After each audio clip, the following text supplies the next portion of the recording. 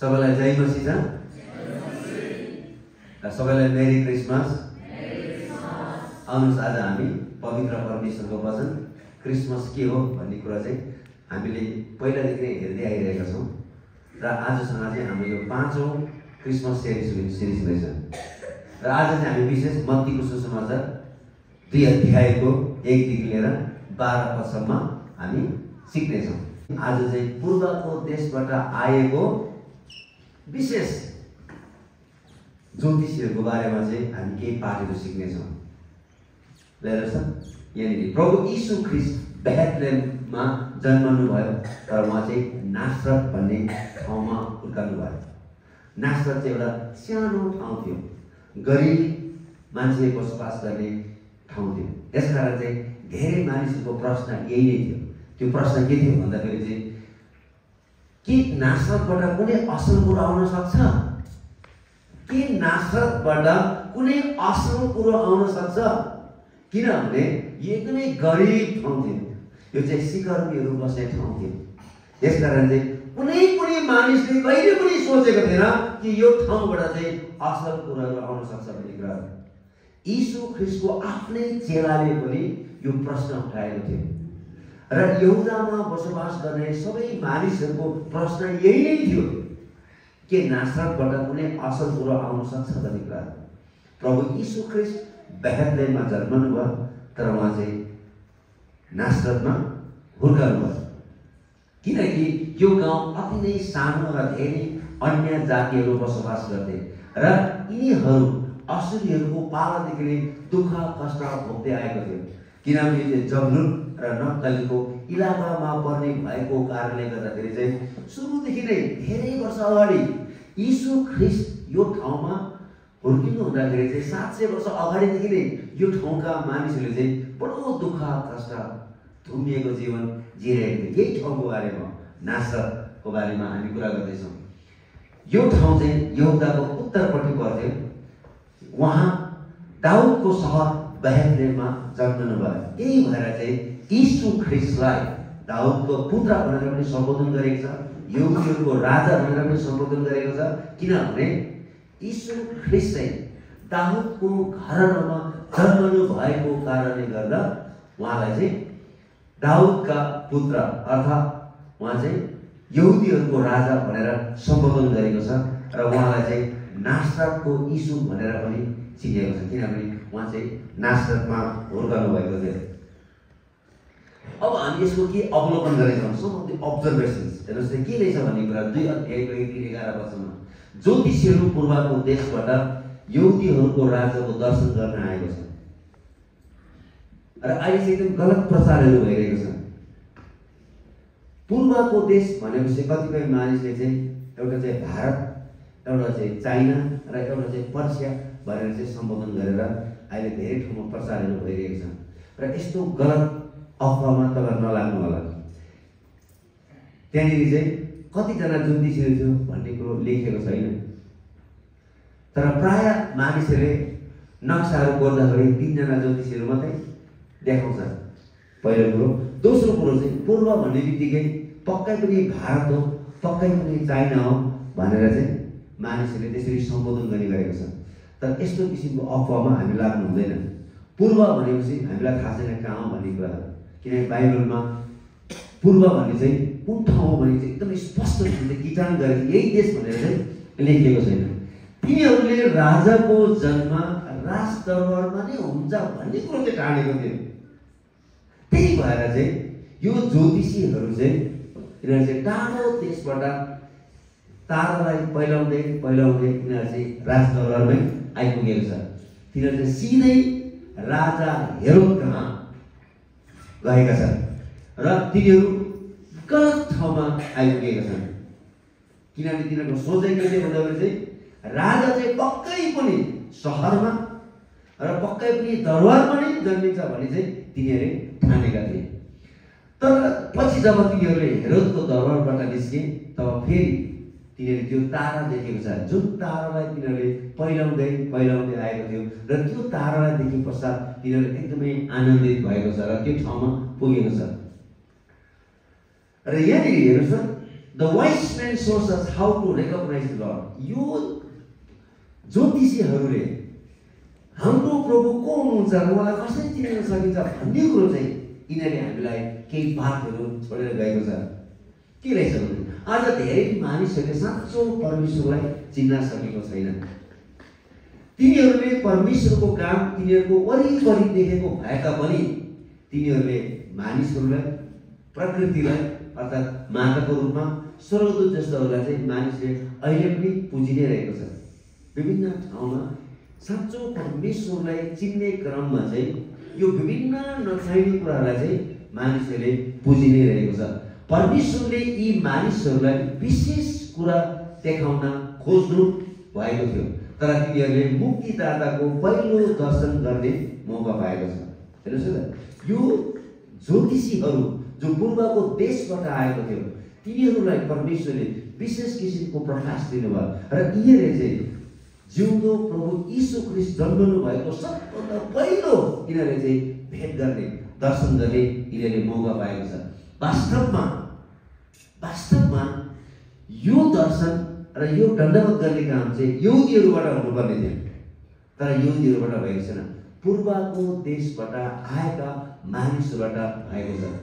युदीहरूले प्रभु यीशु ख्रिस्ट जन्मेको पहिलो दर्शन गर्नुपर्ने थियो।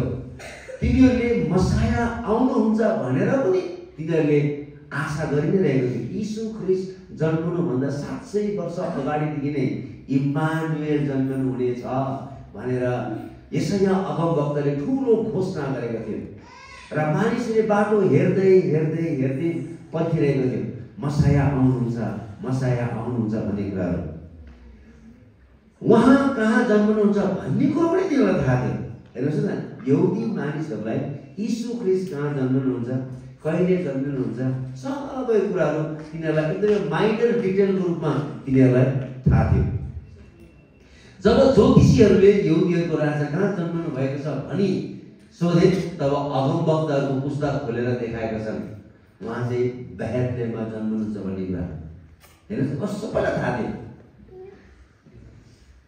तिनीहरूको हृदय यति नराम्रोसँगले सुस्ताएको थियो जसको कारणले गर्दाखेरि तिनीहरूको धर्मशास्त्रमा लेखिएका हरेक कुराहरू तिनीहरूलाई थाहा भए तापनि मसाया जन्मनु भएको छ भन्ने कुरो थाहा भए तापनि तिनीहरू चाहिँ ईश्वर कृष्णलाई भेट्नको निम्ति कोही पनि मानिसहरू गएको छैन ल हेर्नुहोस् न तिनीहरूले थाहा पाए जानेर पनि बुझेर पनि तिनीहरूले राजाको दर्शन गर्न गएन न त यहुदी मानिसहरू दर्शन गर्न गयो न त हेरोद राजाले दर्शन गर्न गएको छ न त पुजारीहरू नै दर्शन गर्नु गएको छ न त अगमवक्ताहरू नै दर्शन गर्नु गएको छ न त बेहतेनका मानिसहरू नै यीशु कृष्ण दर्शन गर्न निम्ति गएको छ। यो सब मानिसहरूलाई थाहा थियो।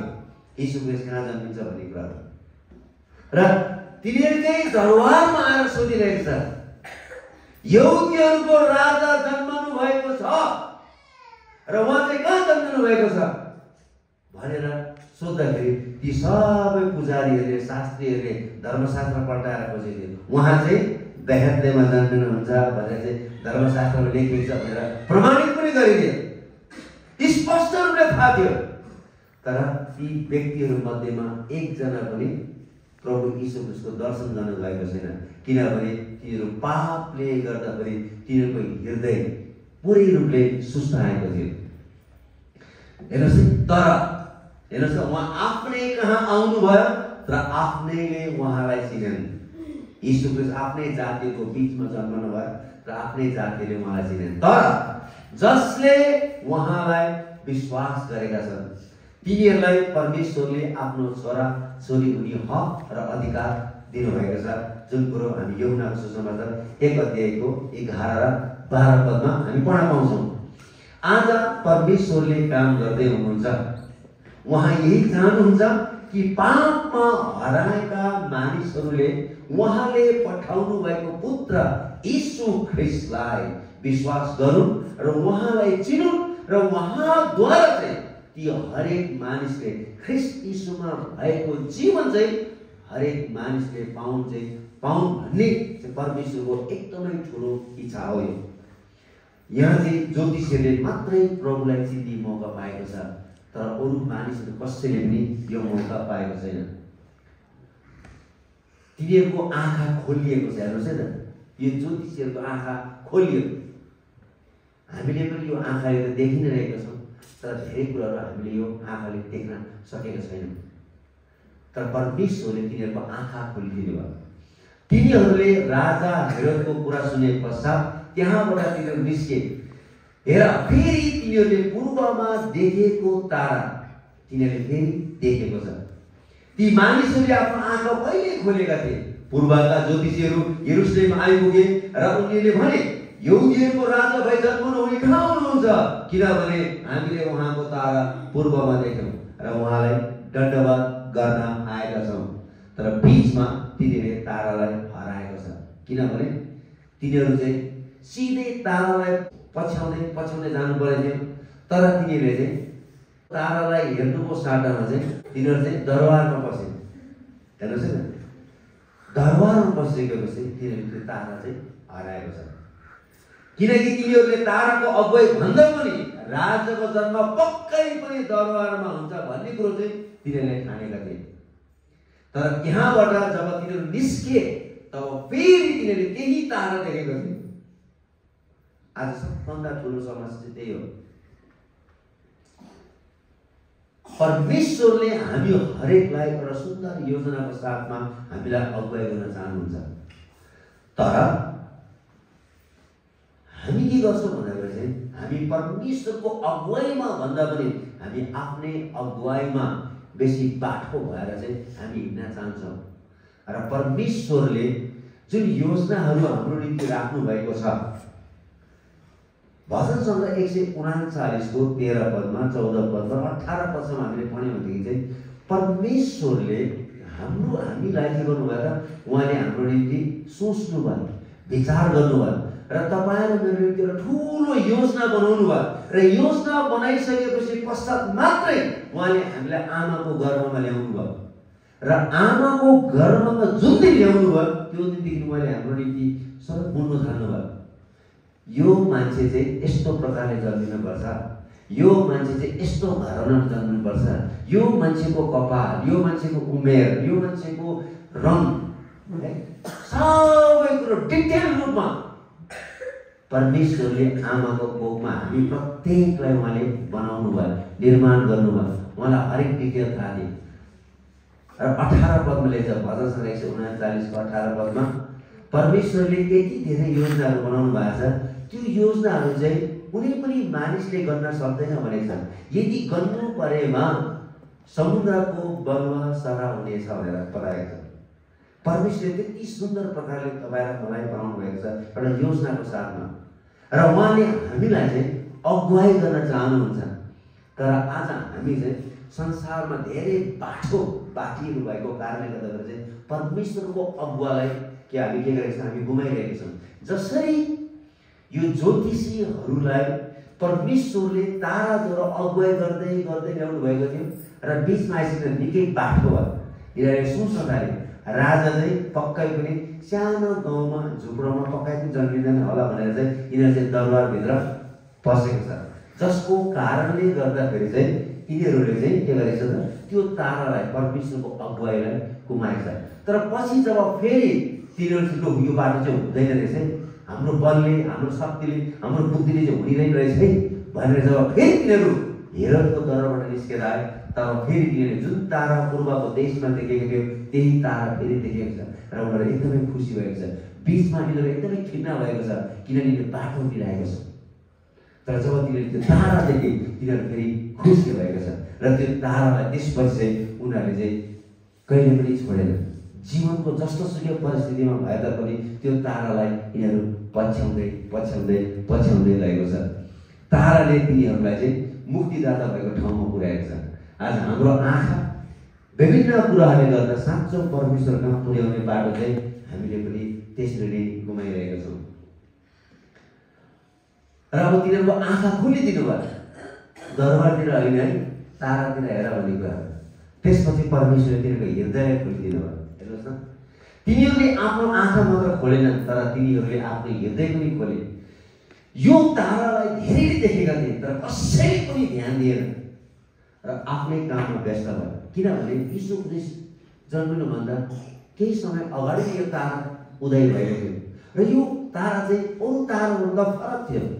र एस्ट्रोलोजर्सहरूले तारा सम्बन्धी अध्ययन गर्ने मानिसहरूले चाहिँ यो तारा चाहिँ फरक किसिमको तारा भन्ने बित्तिकै यिनीहरूले अध्ययन गरिसकेपछि त्यो तारामा चाहिँ एउटा विशेष अचम्मको घटना छ भन्ने कुरो तिनीहरूले थाहा पाइसकेपछि त्यो तारालाई पछ्याएको थियो हुनु त हजारौँ मानिसले देखेको थियो त्यो तारालाई।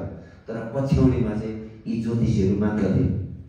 प्रकाशको पुस्तक तिनको बिचमा त्यही कुरो लेखेको छ। हेर म ढोकामा उभिएर ढकढकाउँछु कसैले मेरो स्वर सुनेर ढोका खोलिदियो भने म त्यस कहाँ आउनेछु र म त्यससँग भोज खानेछु भन्ने कुरो। र आज धेरै मानिसहरूले यो आवाजलाई सुनेको छैन। यो प्रभु यीशु हाम्रो प्रत्येकको जीवनमा उहाँले हाम्रो हृदयमा राख्नु भएको छ कि उहाँ हामीभित्र आउन चाहनुहुन्छ। तर आज हामी संसारको विभिन्न कुराहरूले गर्दाखेरि चाहिँ आज हामी के भएको छौँ हामी चाहिँ मातिएका छौँ। र हामी त्यो आवाज सुन्न चाहँदैनौँ। त्यो आवाज कुनै पनि मूल्यमा हाम्रो कानमा पुग्न सकेको छैन। त्यति मात्रै होइन हेर्नुहोस् न।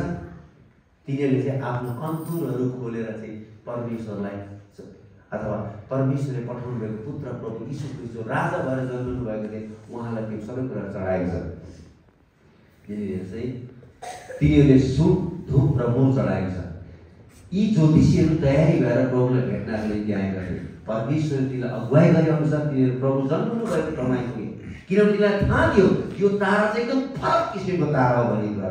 पक्कै पनि एउटा विशेष व्यक्तिको जन्म भएको छ भन्ने कुरो तिनीहरूले थाहा पाएको कारणले गर्दाखेरि चाहिँ तिनीहरूले चाहिँ पुरा तयारीको साथमा आएको थिए। सुन लिएर आएको छ धुप लिएर आएको छ र मुर लिएर आएको छ। सुन चाहिँ त्यति बेला चाहिँ राजाहरूलाई चढाउने चलन थियो। कुनै पनि राजा जन्मिसकेपछि राजालाई भेट्नु जाँदाखेरि सुन लिएर जानुपर्ने थियो। र उहाँ धुप पनि लिएर गएछ किनभने उहाँ चाहिँ राजाको रूपमा पनि जन्मिनु भएको थिएन उहाँ चाहिँ पुजारीको रूपमा पनि जन्मिनु भएको थियो सबै मानव जातिको पापको प्रायश्चित गर्नको निम्ति चाहिँ पुजारीको आवश्यकता थियो। यस कारण यीशु ख्रिस्टे पुजारी भएर जन्मिनु भएको थियो त्यहाँ धुपको बारेमा सम्बोधन गरेको छ अर्को चाहिँ मुर हो कि हामी लुगा सुसङ्गत पढ्यौँ। यीशु ख्रिस्ट जन्मिने बित्तिकै उहाँलाई चाहिँ सेतो लुगाले बेरेको छ। भनेको मतलब चाहिँ उहाँ चाहिँ मर्नको निम्ति नै जन्मनु भएको भन्ने कुरा सारा मानव जातिको पाप उठाइ लैजानको निम्ति परमेश्वरको थुमा भएर जन्मनु भएको थियो। यसमा मलाई सेतो लुगाले बेरेको छ।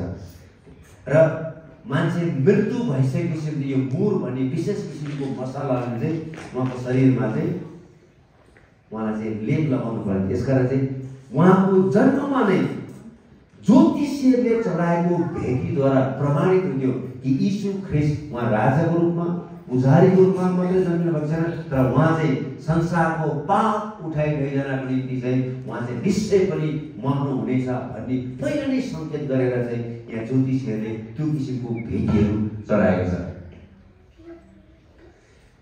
यदि हामी पनि प्रभु यीशु ख्रिस्ट कहाँ पुग्न चाहन्छौँ भने पवित्र आत्माले दिएको निर्देशन अनुसार हामी चाहिँ चल्नुपर्छ हामीले उहाँको निम्ति हाम्रो हृदयहरू खोलेर हामीले के चलाउनुपर्छ त? सबभन्दा ठुलो कुरो। आजको दिन तपाईँले बिहानै उठ्ने बित्तिकै तपाईँले के गर्नुभयो?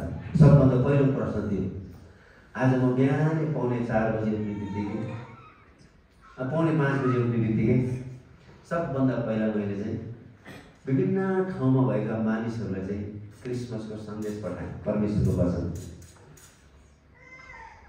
त्यसपछि चाहिँ अनि म एकछिन रोएँ किनभने प्रभुले मलाई यो एउटा जीवन दिनुभएको छ। म जस्तो काम नलाग्ने मान्छेलाई परमेश्वरले एउटा जीवन दिनुभएको छ। र मैले प्रभुलाई फेरि समर्पण गरेँ। प्रभु म तपाईँलाई के दिन सक्छु? तर यो मेरो प्राण यो मेरो शरीर मेरो आत्माबाट तपाईँ ठुलो महिमा भएको होस् अब यो दुई हजार चौबिसमा मैले जति पनि सेवा गर्दै आएको छु त्योभन्दा म दोब्बर गुणा चाहिँ सेवा गर्न चाहन्छु म रोएँ एकछिन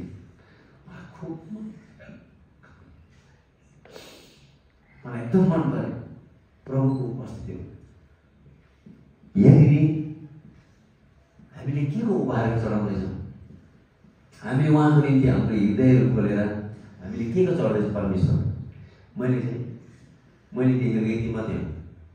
कि अब मैले चाहिँ यो मेरो प्राण यो मेरो शरीर यो मेरो आत्मा चाहिँ मैले अब प्रभुको सेवाको निम्ति चाहिँ मैले अर्पण गर्नुपर्छ अब मैले यो ठुल्ठुलो बिल्डिङहरू बनाएर ठुल्ठुलो घर बनाएर ठुल्ठुलो गाडीमा चढेर मेरो जीवनले कुनै अर्थ दिँदैन। मानिसको लागि वा वा होला।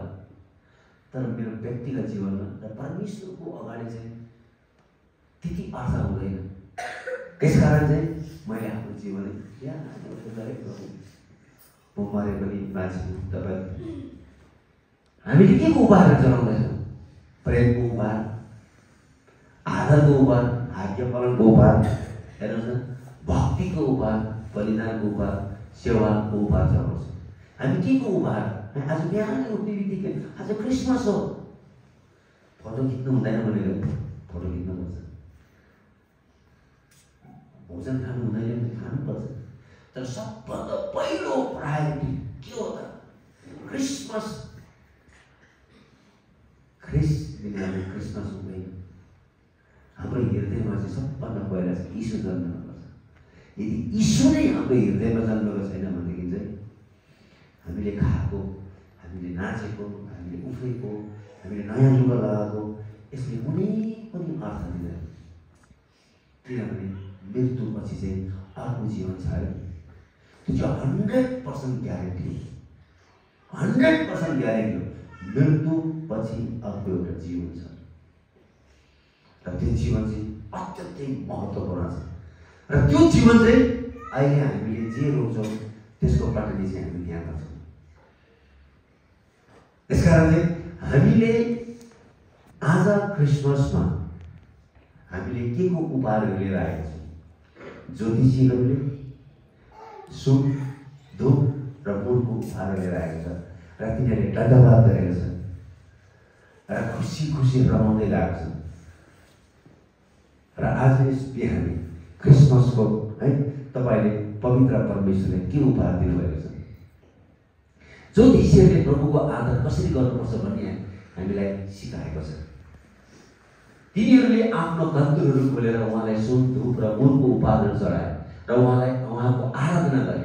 तिनीहरूले आफैलाई नम्र पारेर उहाँलाई दण्डवाद गरे। किनकि प्रभु मात्र आराधनाको योग्यको क्रिसमसको सबभन्दा महत्त्वपूर्ण कुरो चाहिँ त्यो चाहिँ यीशु ख्रिस्टको आराधना यी सबै उपहारहरू अति नै महँगो उपहारहरू सुन एकदमै महँगो थियो। अहिले पनि महँगो छ र अहिलेको नयाँ डिक्लेरेसन अनुसार है अब अहिले धेरै भनेको एक लाख पन्ध्र हजार होला तोलाको। तर अबको केही समयपछि आर्थिक मन्दी र सुनको अभाव र भएको कारणले यो दुई लाखभन्दा बढी एक तोला हुनेछ भनेर समाचारले दिइरहेको छ। यो एकदमै महँगो कुरा हो। तर उनीहरूले हिचकिचाएन परमेश्वरलाई तिनीहरूले प्रभु चढाउनको निम्ति। तर पनि प्रभु यीशुको निम्ति तिनीहरूले चढाएको छ। तिनीहरूले उद्धार चिन्ताले चढाएको छ। तिनीहरूले आफ्नो स्वेच्छाले धन्यवाद साथ विश्वास साथ तिनीहरूले चढाएको छ। तिनीहरूले चढाएको उपहारले तिनीहरूको भक्ति कति ठुलो थियो भन्ने कुरो चाहिँ देखाएको छ। The wise men source how to rely on the lord है परमेश्वरमाथि कसरी भरोसा गर्नुपर्छ भन्ने कुरो चाहिँ ज्योतिषीहरूको जीवनबाट हामी सिक्न सक्छौँ। बाह्र पत्रले छ। कतिको भनेअनुसार ज्योतिषीहरूलाई प्रभु यीशु कृष्ण आइपुग्न निम्ति धेरै दिन लागेको थियो। तर पनि तिनीहरूले हरेस खाए आज भेट्छ कि भोलि भेट्छ कि पर्सि भेट्छ कि भनेर उनीहरू पहिलाउँदै पहिलाउँदै पहिलाउँदै आएको छ। तर उनीहरू हरेस खाएको छैन। तिनीहरू यसलाई विश्वास भनिन्छ। होइन तिनीहरूले आकाशमा देखेको तारालाई पछ्याएको छ।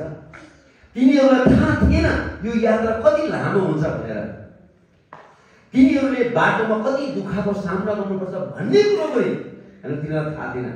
तर तिनीहरूलाई प्रभु यीशुको जन्मेको ठाउँ कसरी पुगिन्छ भन्ने मात्र थाहा त्यहाँ कसरी पुगिन्छ भने त्यो पनि थाहा थिएन।